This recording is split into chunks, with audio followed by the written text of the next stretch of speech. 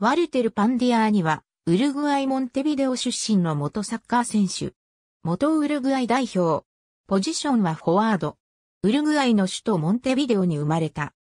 学生時代には、バレーボールの全国大会で優勝したことがある。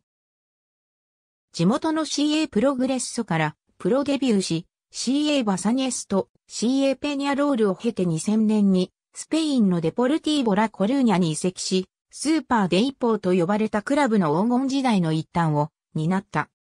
決して不動のレギュラーではなかったが、攻撃時に最も重要な要素の一つであった。2002から03シーズンにレンタル移籍した RCD マヨルカでは13得点を挙げ、さらにコパデルレイで優勝する成功のシーズンを送り、デポルティーボに復帰した2003から04シーズンにも13得点を挙げた。2004年12月5日のラシン・サンタンデール戦で、後半ロスタイムにフリーキックで同点弾を決めるなど、2004から05シーズンは前半戦だけで6得点を挙げていたが、ハビエル・イルレタ監督と何度も口論になったことから2005年1月にはイングランドのバーミンガムシティ FC にレンタル移籍した。デビュー戦のサウサンプトン FC 戦で移籍後初得点を決め、2から1で勝利した。2004から05シーズン後半戦には、さらに3つのゴールを積み重ね、デポルティーボに復帰する意思がないことを主張していた。彼は2005年7月30日に移籍金300万ポンドでバーミンガムへの完全移籍を果たした。しかし、良い頃のフォームを取り戻すことはできず、2005から06、シーズン前半戦は先発出場7試合で2得点と低迷したため、2006年1月13日には移籍金100万ポンドの2年契約で RCD エスパニョールへ完全移籍した。2006から07シーズンの UEFA カップでは大会得点王に輝く活躍でチームを準優勝に導いた。リーグ戦では7得点し、特にエスタディオ・サンティアゴ・ベルナベウでのレアル・マドリード戦では、前半だけでハットトリックを達成したが、試合には3から4で敗れている。2007年夏、CA オサスナに移籍した。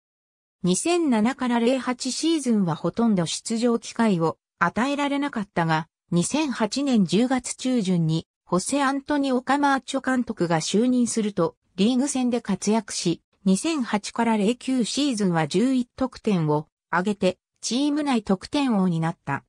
とりわけヘディングではアルバロ・ネグレドと並んでリーグトップタイの7得点を記録した。2009から10シーズンも2桁得点を挙げ、そのうち6得点をヘディングで記録した。2010年5月26日には契約を1年間延長した。2010から11シーズンの CA をさすなは開幕から3試合無得点が続いたが、4節のレアル、ソシエダ戦でチームのシーズン初得点を決めた。2011年8月31日、RCD エスパニョールにフリートランスファーで移籍した。2013年10月、長男のニコラスと共に CS ミラマールミシオネスに加入し、13年ぶりに母国復帰を果たした。現役プレイヤーとしての契約を待ちながら、2014年シーズンより、スペインカタルーニャ地方リーグの CD マッスノーにて、ジュニアチームの監督に就任。2015年6月、スイスチャレンジリーグの FC ローザンヌスポルトに加入。2016年6月16日、引退を表明。